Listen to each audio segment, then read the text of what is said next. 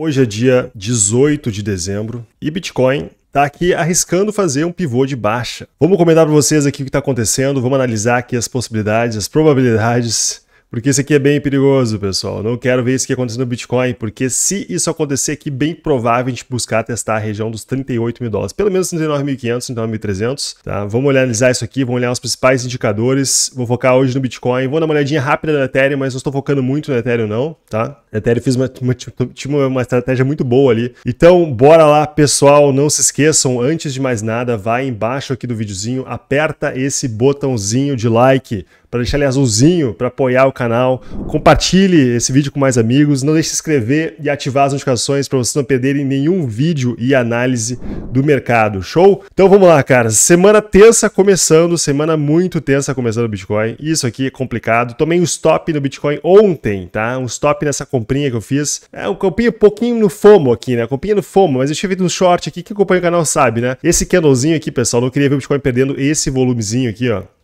essa região que eu não queria ver Bitcoin, Bitcoin perdendo. Então, no, na sexta-feira, se não me engano, não sei que dia que foi, eu acabei, né, depois desse último short aqui, nessa, quando ele fez esse volume aqui com essa sombra, pensei, cara, vou arriscar uma, uma compra aqui porque tinha liquidez em cima, né? Acabei sendo estopado aqui quando ele rompeu esse último volume, tá bom? Só que eu tô achando que eu fui estopado uma região um pouco ruim aqui, tá? Mas eu fui estopado, né? Não, não quis nem mexer, tá? Agora eu tô revendo aqui que, tô, é a minha estratégia e vou comentar para vocês sobre isso aí, né? Comente o que você está fazendo aí no Bitcoin, o que, que você está pensando aqui desse movimento e vamos ver, estimar aqui as probabilidades, porque tem uma zona que eu tô de olho aqui agora, se o Bitcoin romper, daí a coisa muda de forma, tá? Mas enquanto o Bitcoin não perder, não romper essa região dos 42 mil dólares aqui, pessoal, eu acho que tá complicado, tá, pro Bitcoin. Eu acho que talvez aqui, na minha opinião, o último teste que o Bitcoin fazer, que se ele não conseguir romper a região dos 42 mil dólares aqui, ó, eu vou comentar para vocês por que, que essa região é importante. Essa região é bem importante aqui. Se ele começar a romper isso aqui agora, daí a gente tem chance sim de buscar os 45,300. O que, que é um pivô de baixa aqui no, no, diário que a gente poderia fazer, caras? No momento que a gente começa a fa fazer, tem uma correção aqui, por exemplo. A gente subiu, vamos fazer aqui um desenho para vocês, para explicar aqui e esse tipo de conteúdo vai até para os membros, tá? vou fazer aula sobre isso também, explicando o que é pivô de baixa, pivô de alta, por que é importante você acompanhar isso. Então a gente tem uma tendência aqui começando. Né? O começou, pá, pá, chegou um momento que deu uma explosão, a gente fez uma grande correção aqui e acontece o quê? Ó? A gente não consegue romper o topo anterior ó, e faz isso aqui. Ó. Isso aqui é um pivô, um pivô de baixo. Tá? Isso aqui é um pivô de baixo. Tá bom? Então isso está acontecendo aqui agora no Bitcoin. É isso que está acontecendo aqui nesse momento. O que é o pivô de baixo? Geralmente a gente não consegue romper a zona de 68. Ó, vamos ver se consigo desenhar direitinho. Eu sempre consigo desenhar direitinho aqui, 68. Eu sempre consigo desenhar no... no na, tô craque nesse negócio. O 68. Então aqui, ó, 68 não consegue passar e olha onde Bitcoin foi. Olha onde Bitcoin foi aqui, ó. Olha só, topo desse topinho fundo aqui, o Bitcoin foi exatamente na região de 68, onde eu arrisquei um short, o short foi muito bom, só que aqui eu acabei virando a mão devido a esse candle aqui, ó. Esse candle me enganou, caras. Me enganou aqui esse candlezinho, tá? Esse, essa sombrinha aqui me deu uma boa enganada. Mas foi um short bonito aqui, né? Foi uma, uma, teve uma compra aqui embaixo, short aqui em cima, e depois esse candlezinho me, me fez uh, mudar de opinião. Mas esse é o pivô de baixa para o Bitcoin que poderia acontecer, certo? Entendidos que é um pivô de baixa, pessoal, certo? Então o que a gente tem aqui agora? Qual que é o problema disso aqui? Qual que é o problema disso aqui? Que se a gente, se a gente realmente romper aqui, ó, o diário, a gente está perdendo o diário aqui, olha só o diário. Fechamento do diário vai ser importante hoje. A gente não pode fechar o dia ó, abaixo, pessoal, abaixo aqui dos 42.200, tá? Começar a fechar abaixo dos 42.200 é perigoso o Bitcoin no dia de hoje, segunda-feira. A gente tem que fechar Bitcoin acima dos 41.200 dólares, tá? Senão a coisa fica tensa aqui pra gente, beleza? Então, se a gente projetar esse pivô de baixo, como é que a gente projeta um pivô de baixo? Vamos lá. Como é que a gente projeta aqui um possível alvo do pivô de baixo se a gente tiver, então, isso acontecendo. A gente tem então isso aqui, ó, pessoal. Então vamos fazer de novo, desenhar para vocês pivô de baixo aqui para vocês entenderem, tá? Fizemos aqui, pum, 68, mais ou menos por aqui, ó. Já sei graficamente, já sei como fica mais ou menos 68, ó, pivô de baixo. Como é que a gente projeta esse pivô de baixo? Você pega sempre aqui Fibonacci, tá? Eu gosto de fazer assim, ó. Tá? Pega a zona de 68 ali, onde foi lá, ó. 68, na, na, olha essa linha, pessoal. Eu tô craque nisso aqui. Eu consigo desenhar exatamente no 68. Impressionante isso, né? Eu, é, eu nunca errei esse negócio. Todos os desenhos que eu faço aqui eu consigo ganhar 68. Brincadeira, 68 eu tô já. Graficamente já olho que consigo bater o. Sei o dia, o dia certinho, né? Só brincadeira aqui, mas é importante. Beleza, olha só. Aqui, então, o que é o 68 aqui, cara? O que é a região de... O que é o pivô de baixo aqui? Quando a gente consegue fazer essa projeção aqui, ó. Primeiro alvo desse pivô seria o quê? Ó? Você projeta essa zona de Fibonacci, aqui, ó, 302, na, na base do pivô. Ó. Então, a gente poderia ver o Bitcoin buscar essa região, esse nível aqui, ó. Assim que você projeta esse pivô de baixa. Então, esse aqui seria o alvo aqui, o alvo para esse pivô de baixa. Então, vamos projetar aqui esse, esse, eh, esse pivô de baixa, se o Bitcoin fizer, tá? Se ele realmente confirmar esse pivô aqui. Mas a região dos 42 é importante, então fica aí, porque eu vou mostrar para você e a gente vai olhar indicadores importantes para você conseguir se preparar para esse movimento aqui, tá? Então, eu estou só fazendo aqui, estou só pincelando a entrada aqui dessa análise, tá? Que é importante entender. Eu quero deixar bem claro aqui para vocês, para não achar que eu sou louco aqui, tá? O pessoal vai começar a falar, não, o Bitcoin não vai para os 39, não vai para os 38. Calma aí. Então, vamos lá. Então, o que, que é essa projeção aqui, ó? Se o Bitcoin fizer realmente perder os 40 no dia de hoje, perder no diário, tá? Perder essa região dos 41,200, ele começar a ficar realmente feio, a projeção desse pivô aqui, pessoal, pode ser mais ou menos por aqui, ó. Tá sendo bem conservador, que poderia pegar o final do, final do sombra aqui. Vamos pegar a sombra, então. Tá? Vamos botar se o Bitcoin perdeu essa sombra aqui, ó. Se perder essa sombrinha aqui, realmente projetar, seria essa aqui, pessoal, mais ou menos, ó. Bitcoin voltando para casa dos 35 37.500, tá bom? 37.500 é essa zona de volume aqui. Olha o volume que a gente tem aqui, ó. Testar essa zona de novo, tá? Então, essa é a projeção desse pivô. Se você quiser pegar mais conservador, pegar só as sombrinhas aqui, só a região do, do onde, onde realmente ele, ele rompe aqui pro diário, você poderia pegar aqui e projetar assim, mais ou menos, tá? Seria então o Bitcoin voltar para casa dos 38.800 38 aqui, 38, 39 mil dólares, tá bom? Então, assim que você projeta, né, a partir de fazer uma projeção Fibonacci, é como traders do mercado, eh, mercado tradicional usam, tá? E geralmente o Bitcoin várias vezes eu vejo esses pivôs, assim, essas projeções de Fibonacci dando bem na mosca, tá bom? Então, projete, você pode usar o 4 horas também, pode usar o 4 horas também, que é importante, eu gosto, um tempo, de, um tempo gráfico eu acho importante aqui, ó. Estamos nesse canalzinho, bem provável de testar, se a gente conseguir começar a romper aqui, testar o fundo desse canal, tá bom? Seria a região dos 38.400, 38.300, onde a gente tem suporte do Open Interest, que eu venho comentando para vocês há bastante tempo sobre esse suporte, e o Bitcoin não pode perder, na minha opinião, é a região dos 38.300. Perdendo os 38.300, caras, na minha opinião, vai ficar complicado pro Bitcoin, eu já vou entrar nesse assunto de novo para vocês aí, beleza? Então vamos lá, esse projeto aqui, tá? É outra coisa importante, CPR mensal, né? A gente tem aqui o suporte importante dos 39.360, tá? É a região importante. E os pivôs aqui do CPR mensal estão aqui, os pivôs centrais estão aqui na região das zonas 37.200 até a região dos 36.000 e 139. É então, cara, é complicado aqui. Só que eu não shortaria aqui o Bitcoin, tá? Não tentaria shortar o Bitcoin aqui. Se você quiser arriscar um short em Bitcoin, tenta aqui essa região dos 42 mil dólares, tá? 41.800, 42 mil dólares. Inclusive aqui, eu não gostei de ter sido estopado aqui, tá? Eu achei que eu paguei um stop aqui de bobeira. Aqui que pode ser uma zona que eu tô de olho para decisão do Bitcoin de 42 mil dólares. E fica aí, porque eu vou comentar para vocês por que, que essa zona aqui é importante. No curto prazo, caras, vamos entrar nesse assunto aqui também. Eu acho que chega de falar para baixo, vamos falar para cima agora. Cara. Os touros estão malucos comigo. Andressa fala para baixo, para baixo. Calma, vou falar para cima também. Vamos falar para cima onde tem um alvo aqui do Bitcoin. Aqui nessa zona, caras, eu fiquei chateado ficar estopado, tá? Então, na verdade, se não fosse topado aqui, nessa região, eu provavelmente toparia aqui na região dos 42 mil dólares, tá? Que nem eu fiz com o Ethereum. O Ethereum, eu falei para vocês na última live, vou entrar no Ethereum também aqui, fica na live aí. Eu comentei pra vocês, eu vou diminuir a minha mão no long do Ethereum na região dos 2.300 dólares por unidade. O Ethereum foi exatamente nos 2.300, eu fechei ali a boa parte desse long, eu tava com medo do Ethereum, devido ao risco do Bitcoin. E o que me salvou no Ethereum foi isso, tá, caras? Porque senão eu ia tomar um prejuízo ali no Ethereum. Prejuízo não, né? Eu ia deixar, ia deixar dinheiro na mesa. E eu odeio deixar dinheiro na mesa. Pensa um cara que odeia deixar dinheiro na mesa, pessoal. Não gosto de fazer isso, tá? Então, vou comentar sobre Ethereum daqui a pouquinho. Então, essa zona aqui é a zona que, na minha opinião, vai ser a decisão do Bitcoin, 42 mil dólares. Vamos dar uma olhada sobre isso. Por que, que essa zona é importante? Olha o volume, primeiramente, aqui, ó, o volume que a gente tem, tá? Esse é um primeiro sinal. No curto prazo, caras, olha só, numa hora a gente tá fazendo divergências aqui bullish também no Bitcoin, ó. Divergência bullish aqui numa hora, tá bom? Isso aqui, para mim, é uma zona que eu não acho muito bom vocês querer shortar aqui o Bitcoin, tá? Não acho interessante. A dominância também está subindo nessa zona aqui, a dominância do Bitcoin está subindo. Então aqui, na minha opinião, pessoal, acho que grande chance do Bitcoin daqui, né, ele buscar testar a região dos 42 mil dólares, tá bom? Na minha opinião aqui, acho que é mais propício um longzinho aqui no curto prazo até os 4800 pelo menos, tá? Acho que é bem possível do Bitcoin voltar a testar essa zona aqui antes de fazer uma decisão. E aqui pode ser a última subidinha antes de fazer essa porrada para baixo, mas aqui que vai ser a decisão. Se ele romper esse topinho aqui, ó, dos 42.500, tá? Eu acho que a gente tá rompendo esse canal para cima, né? Ah, esse canalzinho para cima cima aqui, ó. Isso aqui acontecer vai ser bastante bullish pro Bitcoin, se fizer isso aqui, ó, né? E romper esse canalzinho aqui, ó, daí, rompimento, rompimento dessa zona aqui, ó, rompimento dessa zona aqui, pessoal ela pode virar com suporte e dar condições para o Bitcoin voltar a subir, tá? Então, para mim, a decisão estará aqui. A decisão não é aqui, tá? A decisão não é aqui do Bitcoin. A decisão é aqui nos 41.800, 42 mil dólares, tá? Se eu romper esse topinho dos 42.500, daí nós estamos falando lá dos 45.300 para cima, é onde tem liquidez que eu mostrei para vocês nas últimas análises, beleza? Então aqui para mim, zona curto prazo, buy zone aqui pode ser uma zona interessante. No, a divergência bullish numa hora pode ser uma base, um suporte no diário, pelo menos aqui no Bitcoin, tá? Fechou. Então aqui não tente shortar o Bitcoin aqui, pelo amor de Deus, tá? Não tente fazer isso, cara. Não tente shortar o Bitcoin aqui, beleza?